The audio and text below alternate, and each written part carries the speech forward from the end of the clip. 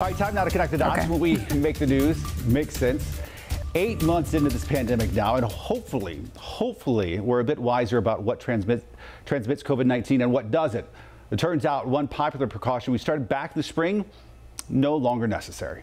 For everyone getting sick of pandemic prevention, the experts have an important message. You can stop wiping down your groceries.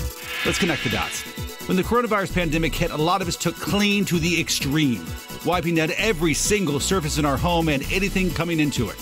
That's after studies found the virus could live on surfaces for long periods of time. But as scientists learn more about COVID 19, they say it's safe to stop quarantining the mail and using Clorox wipes on all your groceries. What's changed? Experts are finding it's not common for the coronavirus to spread through contaminated surfaces. In the real world, there are a lot of factors like sunlight and heat that can weaken the virus. That doesn't mean there's no risk. Crowded places where a lot of people are touching common surfaces still remain high risk, like a, a public restroom.